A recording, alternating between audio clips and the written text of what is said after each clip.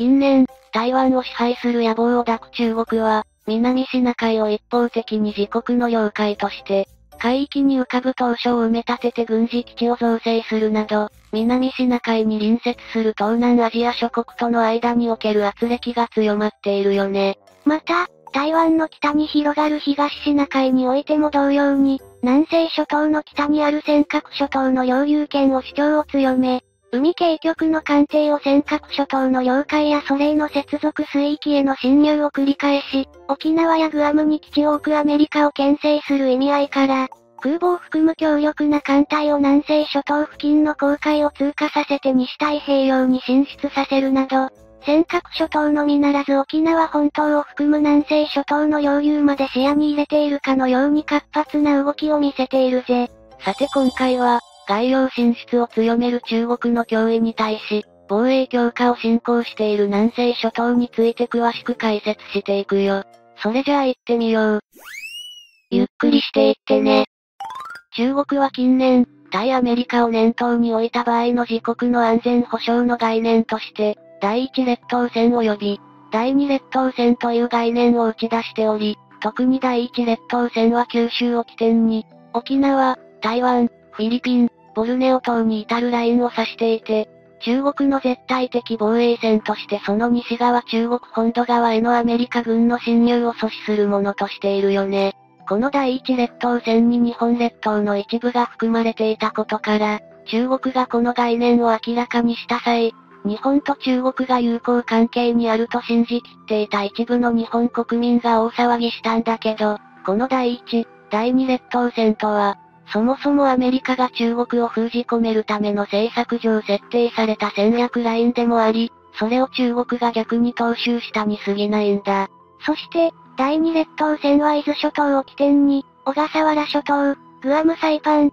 パプアニューギニアに至るラインとされ、一昔前の中国の海洋調査船は第一列島線付近までに止まっていたものが、近年では第二列島線付近でも調査を行っていて、このような海洋調査は他国の排他的経済水域内では行えない取り決めになっていることから、中国は第二列島線付近にある沖ノ鳥島について単なる岩礁であり日本の領土ではないとの主張を展開し始めて問題となっているな。この第二列島線は、台湾有事の際に、中国海軍がアメリカ海軍の増援を阻止妨害する海域と推定されていて、中国海軍はこれまでは沿岸海軍であったものが、曲がりなりにも正規空母3隻を保有することになってからは、日本や台湾を含む諸外国諸政権の実行支配下にある第一列島線を突破して、第二列島線まで進出することを念頭に置くようになり、ここ数年は空母を含む艦隊を大西洋にまで進出させて演習を実施するなどして、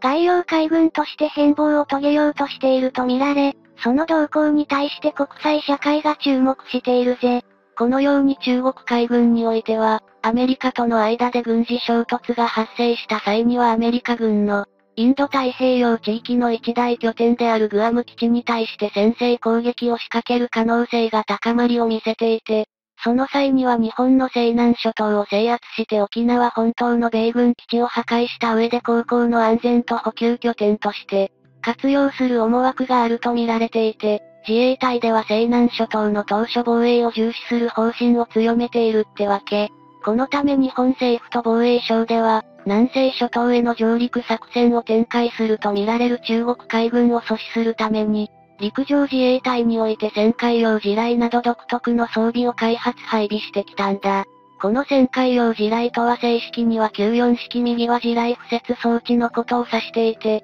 敵の着上陸進行が近いと判断された際に、上陸が予想される海岸線の右側に上陸部隊阻止用の地雷源を迅速に構築するために開発された装置で、防衛庁技術研究本部においては1987年度から右は地雷の研究及び1989年度からは、不設装置の部内研究が開始されて、日本の自衛隊独特の兵器として1994年度に正式採用されたものだね。地雷不設装置とその装置を搭載する水陸両用車で構成されていて、地雷不設装置を搭載する車両は、水陸両用車で陸上走行のみならず水上構想が可能で、陸上走行時は折りたたまれている。側面のフロートを水上構想時には展開して水上に出して、車体後下部に装着されているスクリュープロペラ2機を用いて最高で6ノットでの航行が可能だぜ。フロートを展開することによって荷台が確保され、そこに右は地雷及び不設用機器をセットして、車体後部より水上を航行しながら右は地雷を投下することができ、投下用機場として上下2段4畳の計8畳から毎時72個の地雷を施設することができるらしい。敷設される94式右は地雷は、地雷と呼ばれているものの、旋回に海上から巻いて敷設することから正しくは、対上陸用船艇用の機雷とされていて、これには沈底式と軽流式の2種類があり、沈底式の1型は直径0.45メートル重量 40kg の円盤型、軽流式の2型は全長0.65メートル重量 45kg の円柱型で、これらは30メートル以上の敷設間隔で施設され、軽流式の2型は水深3メートル以深のエリアに敷設されるよ。起爆装置は振動及び時期によって爆発する新管で、感度や作動までの感知回数などは、事前に設定が可能であるほか、敷設後に一定時間を経過した後は無力化される仕組みになっているね。また、南西諸島に接近してくる空母艦隊を阻止するための地対艦ミサイルの開発も進められていて、中国海軍艦艇への攻撃手段の一つとして、1988年からは88式地対艦誘導弾の取得配備が開始され、この対艦巡航誘導ミサイルを運用するための部隊として、陸上自衛隊において1992年から地対艦ミサイル連隊の編成も開始されたぜ。地対艦ミサイル連隊については、連隊本部1個に4個射撃中隊を核として、連隊本部管理中隊に捜索標定レーダー装置6機レーダー中継装置12機式統制装置1機が配備され、各射撃中隊は射撃統制装置1機が配備された1個式小隊と発射機装填機が1機ずつ配備された。4個射撃小隊で編成され、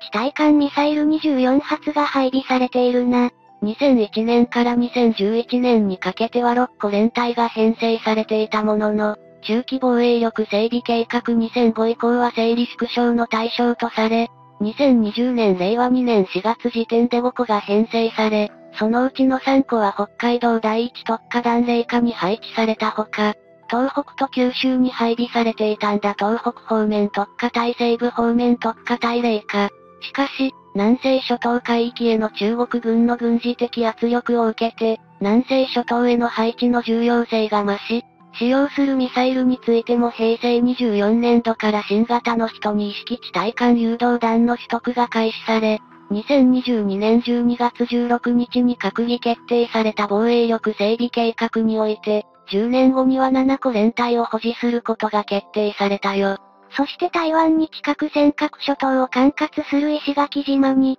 陸上自衛隊石垣駐屯地が2023年3月に開設され、新編された八重山警備隊と宮古島駐屯地の第7校舎特化軍令下の第348校舎中隊に加えて、主力として県軍駐屯地熊本県の第5地対艦ミサイル連隊の第303地対艦ミサイル中隊が配備され、総勢約570人と車両約200両が駐屯しているな。第303地対艦ミサイル中隊は人に意識地対艦誘導弾が装備されたミサイル部隊であり、沖縄本島以外では奄美大島と宮古島に続いての人に意識地対艦誘導弾の配備となったぜ。この人に意識地対艦誘導弾は射程約 200km の長射程誘導ミサイルだけど、さらに射程 900km 最終的には 1500km の、人に意識地対艦誘導弾能力向上型の開発が、令和3年2021年度から令和7年2025年度までの期間と、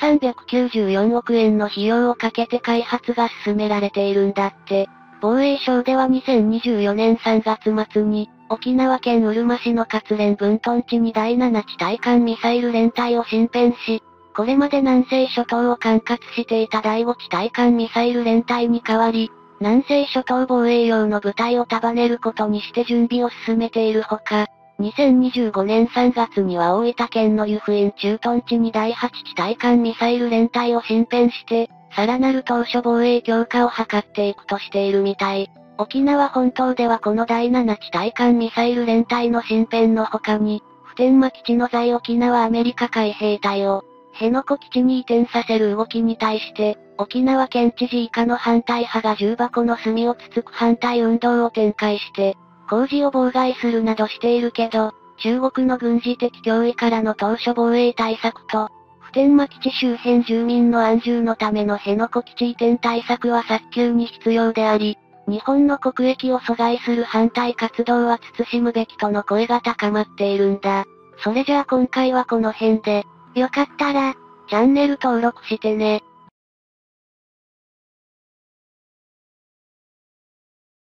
2023年9月28日、台湾南部の高尾市内にある台湾国際造船において、台湾が初めて自主開発して建造した海軍海軍級通常動力型潜水艦の一番艦の浸水式が蔡秀文総統出席の下で取り行われ、新型潜水艦が正式に開墾と命名されたよ。艦首が中華民国台湾国旗で覆われた開墾の前で蔡秀文総統は、歴史はこの日を忘れないだろうとした上で潜水艦の自主建造はかつて我が国においてはミッションインポッシブルとみなされていたが、今日我々が独自に設計建造した潜水艦が皆の目の前にあり、我々はミッションを成し遂げたのだと語ったようだな。さて今回はそんな台湾の新潜水艦である海根の建造に日本が関与した可能性について詳しく解説していくよ。それじゃあ行ってみよう。ゆっくりしていってね。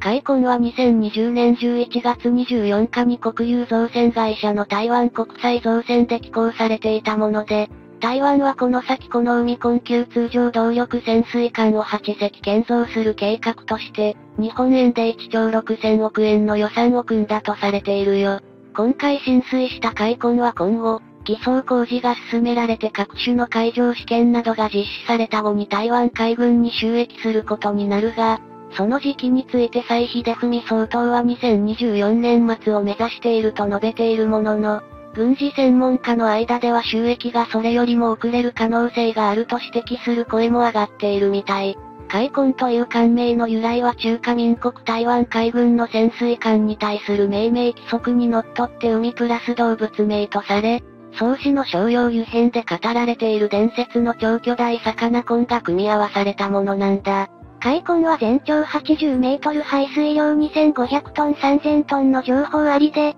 国産とはされているものの戦闘システムはアメリカ合衆国のロッキード・マーティン製のものが採用され搭載されているほか、魚雷もロッキード・マーティン製のものを調達する予定であるというぜ。台湾海軍では現時点で4隻の通常動力型潜水艦を保有して運用しているが、いずれも数世代も前の旧式潜水艦であり、最も新しい海虎でさえ1988年に収益していてその慣例は36年に達しているな。このシャチは現時点の台湾海軍では虎の子とされている海琉球通常動力潜水艦の2番艦で、基準排水量2300トン水中排水量2600トン全長66.92メートル、全幅8.4メートル、ディーゼルエレクトリック推進により水上の最高速力12ノット、水中最高速力20ノットを発揮し、6門の 533mm 魚雷発射管からはハープーン対艦ミサイル SSM 発射することが可能とされて現在においても通用する性能を持っているものの、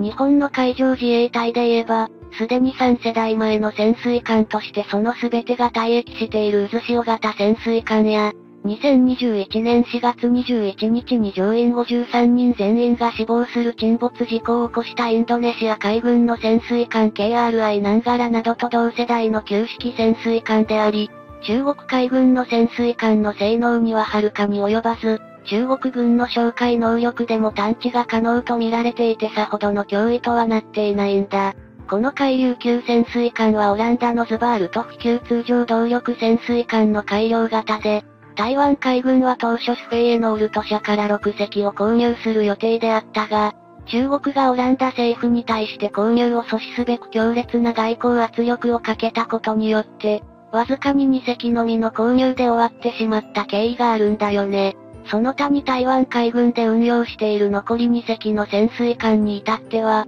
いずれも太平洋戦争時に建造されたアメリカ海軍の通常動力型潜水艦で、退役後に台湾海軍に売却されたもはや骨董品ともされている存在なんだ。そのうちの一隻海氏は1945年に収益したアメリカ海軍天地級通常動力潜水艦のカットラスで、1973年12月4日に台湾に売却され基本排水量1870トン水中排水量2440トン全長95メートル全幅8.33の艦隊に、533mm 魚雷発射管を10門備えているものの、近年では艦隊の耐圧からに歪みがあることが発覚したた。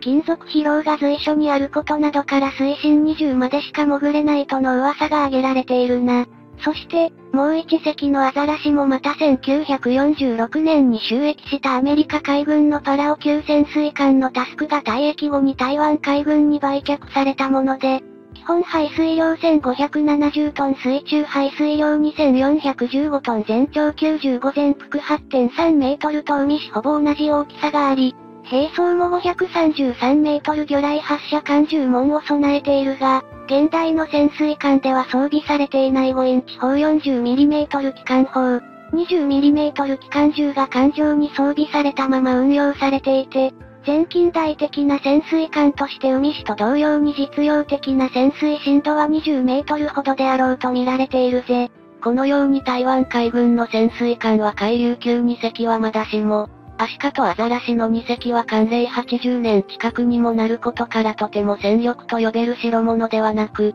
いかに中国軍の対戦哨戒能力が低いとしても脅威とはなり得ないんだ。近年、イギリスから返還され一国に制度を約束していた香港をほぼ自国に飲み込んだ中国は、次は台湾とばかりに外交的及び軍事的な圧力を強めていることから、台湾では中国本土との間に横たわる台湾海峡の防衛における抑止力として、最新鋭の潜水艦必要であることを熟知していたが、ヨーロッパの潜水艦輸出国各国は主要貿易国である中国との摩擦を懸念して台湾への売却を拒み、台湾支援を表明しているアメリカ海軍では売却可能な通常動力潜水艦がもはや存在していないため、欧米や日本の潜水艦技術導入によって自国での潜水艦建造を計画することとなりその準備が進められていたね。この潜水艦建造計画では2500から3000トン級の通常動力潜水艦が計画されていたものの、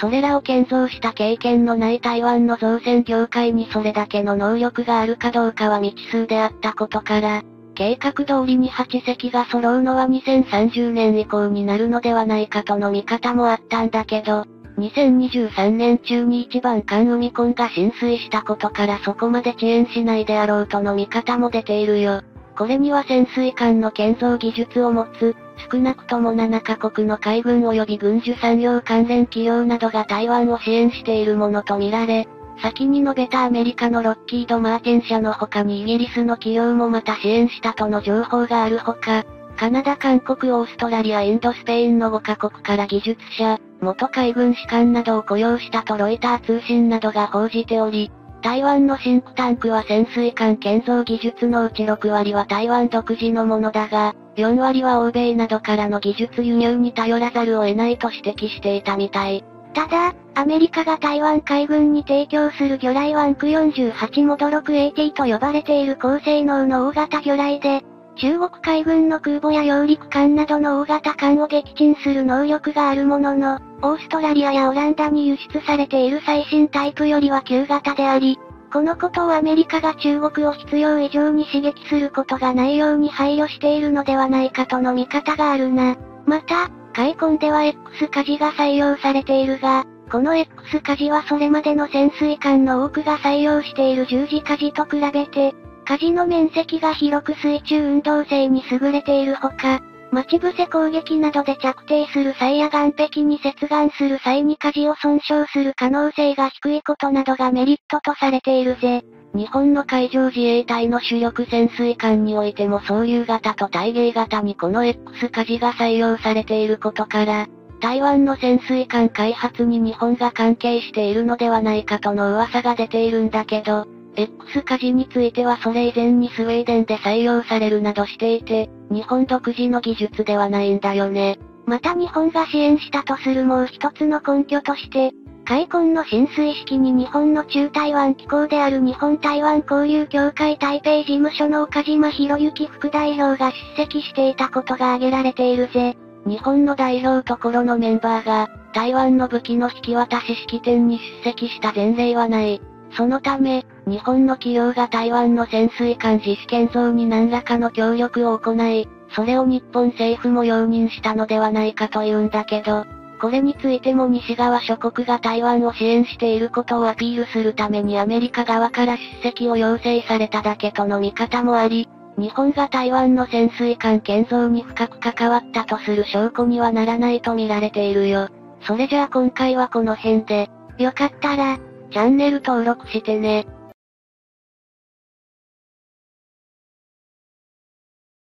2023年5月、防衛装備庁は、STOVL 用バージ橋家の整備に関する調査研究についての募集要項を公示したよ。その後10月にこの業務について、造船会社のジャパンマリンユナイテッドと契約を交わしたと公表したらしいな。さて今回は F35B 戦闘機は艀から発着するのかという件について詳しく解説していくよ。それじゃあ行ってみよう。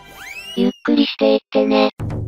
この業務は、航空自衛隊が導入を予定している STOVL 短距離離陸垂直着陸機である F35B 戦闘機が使用するためのバージ橋家を研究するものだね。防衛装備庁は、この業務に関しては、海自のいずも型護衛艦の特別改修に関する知識技術が必要不可欠という前提条件を示していたんだ。ところが、この条件に合う必要な知識や技術を持つ企業はジャパンマリンユナイテッド1社だけで、そして応募者も同社だけだったので、当然の成り行きとして選定したということだな。だったら、わざわざ募集する必要があったのだろうかと思ってしまうぜ。この会社しかないのは分かっていたはずだもんね。なのに、あえて募集するというのはちょっと邪推してしまうよ。防衛省は現在、海上自衛隊のヘリコプター搭載護衛艦出雲、加賀の2隻を、F35B 戦闘機を運用するために空母化改修工事を進めていて、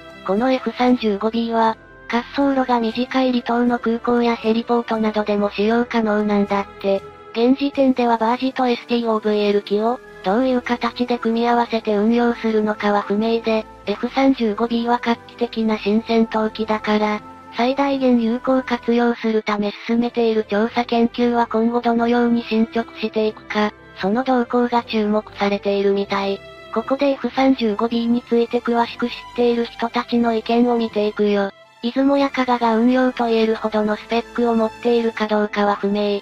せいぜい給油とミサイルの搭載、軽整備ができるくらいのレベルじゃないのか。空母っていうより離着艦可能艦っていう名前の方が実態に合ってると思うよ。大体国外で使用することは想定してないから、それで十分でしょ。となると、橋家アルファで運用するのも悪くないよね。当初防衛の補助が主要任務になるんだろうし、前もって橋家を重要箇所に置いておくのは合理的かも。海事は出雲型や日向型を統合運用に差し出すつもりはないだろう。自分たちの主力である護衛隊軍はしっかり手元にキープしつつ、統合運用向けには総海隊軍を療養船部隊に指定してこれで人義は切ったという認識なんだろうね。F35B 戦闘機やヘリは自前で運用してくれと通告したらしいぞ。海事側は機動運用艦隊になる護衛隊軍を、狭い海域の当初防衛に貼り付けるのは愚策と思ってる嫌いが感じられた。要するに乗り気じゃなかったんだよ。F35B に期待している役割もそれぞれ違う。空自は本土防空だし、海自は艦隊防空だから見事に同床異夢ってこと。将来的に海自は自前の戦闘機所有に動くだろうよ。見てる景色が違うんだから運用法でまとまるはずないよね。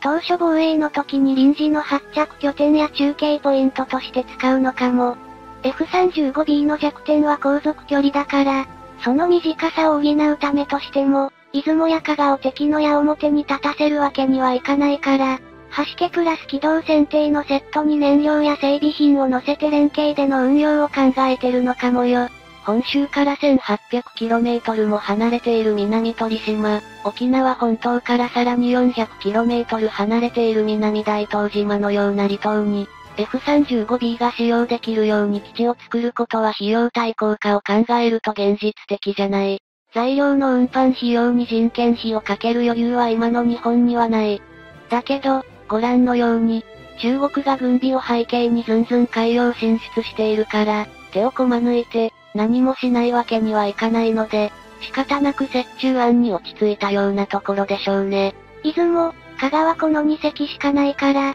ずっと中国艦隊に張り付いていたら他の任務に対応できなくて、支障が出てくることもあり得るよね。そういったことになった場合の緊急避難みたいな使い方をするんじゃないかな。F35B 戦闘機なら小さいフロートでもいけるよね。先島諸島や東シナ海に複数浮かべておいたら意外と大きな戦力になるんじゃないかな。問題は那覇、嘉手納基地のようにミサイルの集中攻撃を受けるって想定されることだ。護衛用のフロートも作らなきゃならないんじゃないか。レーダーだけじゃなく中 SA 向かい、ブースターもつけて長射程板と武器を盛り盛りで守るのかな。いっそ、イージス・アショアもフロートに乗っけたらいいんじゃないか。前首相の地元のように、地盤の心配をする必要もなくなるし、F35B を DDH ヘリコプター搭載護衛艦に配備するのは、基本的には艦隊防空のため、わかりやすく言えば太平洋戦争時の冷戦の役目を期待しているってこと。確かに海事が求めてるのはそういう役割だろうけど、航空自衛隊の F35 は海上自衛隊の駒じゃないので、従わないだろう。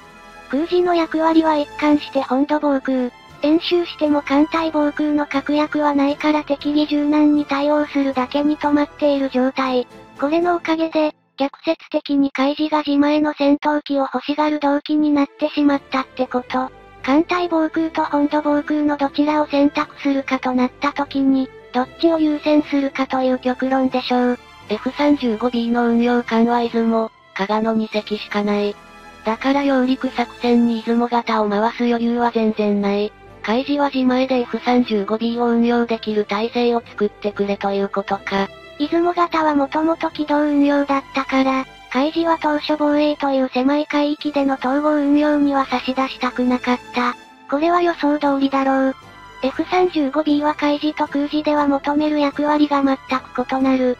つまり運用が歪なものになるんじゃないか。第二次世界大戦の時のドイツ空軍と海軍の関係が一番当てはまるかな。大型輸送艦が不足しているので、民間ロロー船が陸自輸送の主力になるだろう。浮橋や橋家で沖合のロロー船から離島を結ぶことも視野に入れているから、橋家もその一環になる。要するに出雲型が回されないのなら、ヘリの運用も橋家でしなければならないわけだ。当初奪還用の STOVL 発着艦バージで、オスプレイを主体として F35B の緊急使用も想定したものではないのかな？加賀や出雲が艦載機を持つわけがないでしょ。動く橋家で、有事の海の止まり木になるのかな？アメリカの空母ですらドローン空中給油機を飛ばすくらい空母キラーがある時代だから、メガフロートみたいなのも良い選択肢では？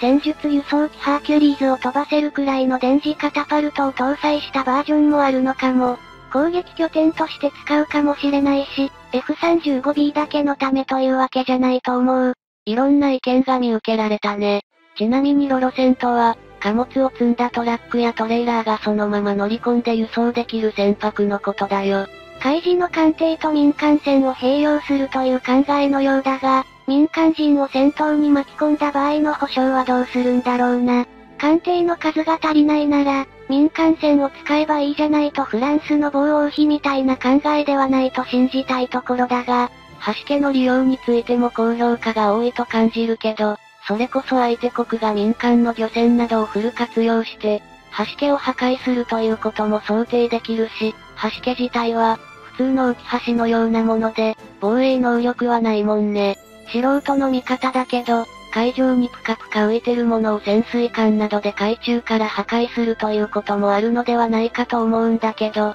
どうなんだろう。簡単に破壊されてしまいそうな橋家に、大切な F35B 戦闘機を一時的であっても、任せてよいのかなとも不安になるのもわかるが、そのあたりは専門家がしっかりと考えてくれるはずだぜ。そうだよね。それじゃあ今回はこの辺で。よかったら、チャンネル登録してね。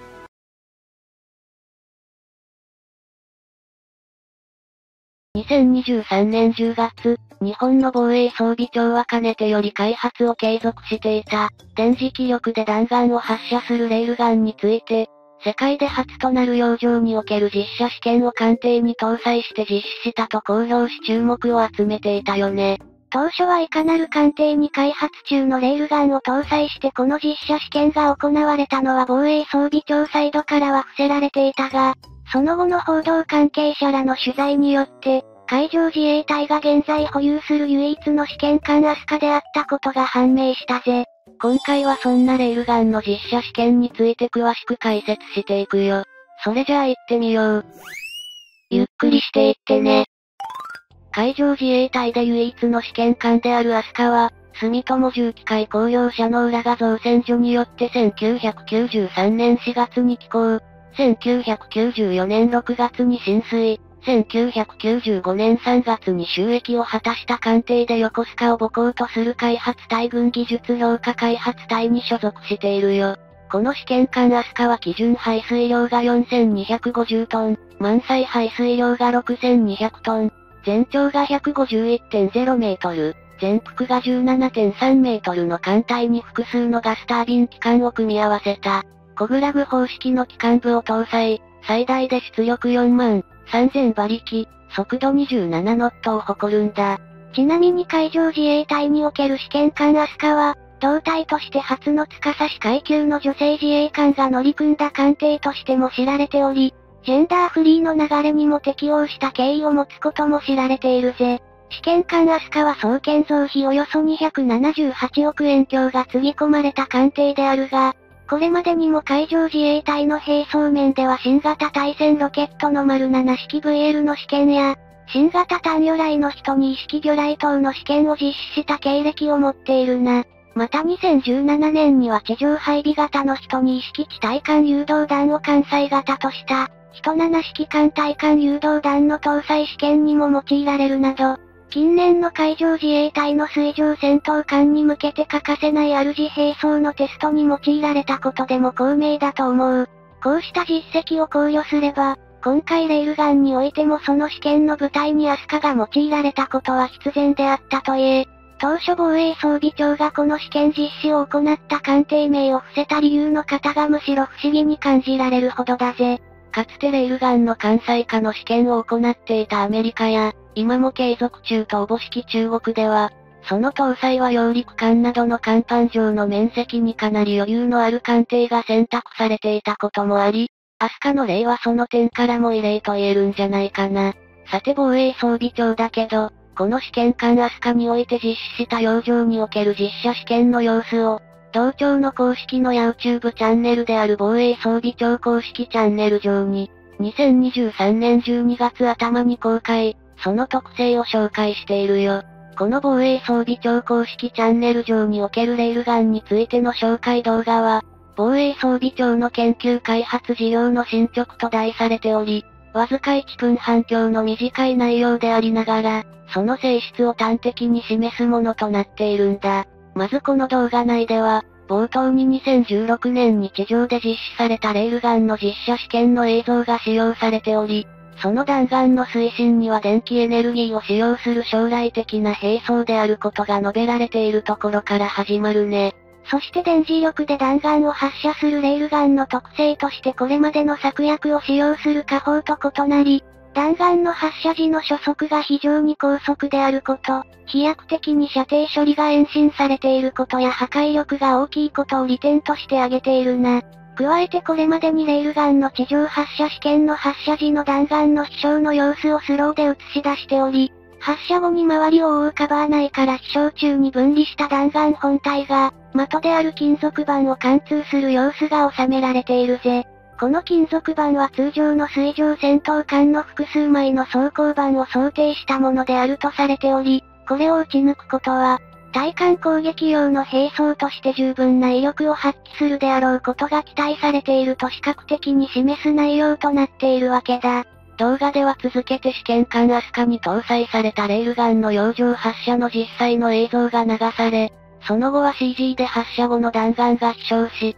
敵の水上戦闘艦に命中、これを貫通するシーンがイメージ映像として映し出されるよ。その時のナレーションでは、こうした用途を早期に実用化するために今も研究を継続している旨が語られ、映像の最後はやはり CG で空中を時間に向けて飛翔してくる敵ミサイルを、今度は空中で迎撃するイメージで締めくくられているね。今回の動画内でも紹介されていた2016年に行われたレールガンの発射試験では、レールガン本体はおよそ6.0メートルで、口径は40ミリ、弾丸の発射時の初速は秒速でおよそ2297メートルを達成。これはマッハ7弱に相当するものだったんだ。この時地上での試射実験に使用されたレールガンは単発であったとされており、今後の実用化に向けては当然連射を可能にする必要があるんだけど、今回試験艦アスカに搭載されたものも、こうした連射が可能なものではなかったように見えるよね。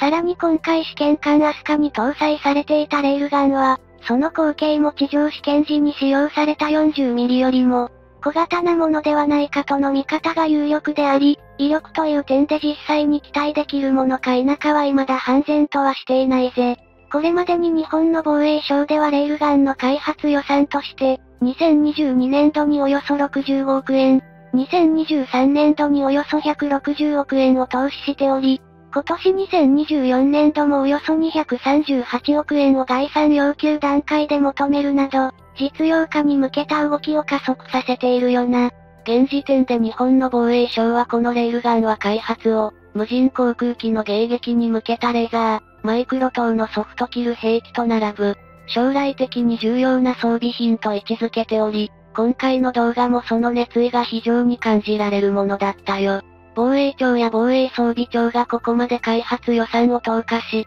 アピールする動画まで作成していることを鑑みれば、レールガンの実用化に自信を持っていることは間違いないのだろうけど、個人的にはアメリカが同兵器の開発を中止したことは引っかかるよね。アメリカでは日本より先行してレールガン開発、その艦艇搭載での試験まで、イギリスを代表する BAE システムズ社らと、共同でこぎつけていたものの、兵器として実用化することにはメリットがないと判断した経緯があるからな。これはアメリカがレールガン開発を進めていた中で、艦艇搭載用のそれはおよそ 200km ほどの射程距離を想定していたが、この射程距離をはるかに凌駕する対艦ミサイルを中国やロシアが開発する事態に直面したことによるものだぜ。そのためアメリカではレールガンを実用化する意味を喪失したと言われているが、そもそもレールガンの運用がそのままで可能な。現行の水上戦闘艦はズムボルト級ミサイル駆逐艦程度しか存在せず、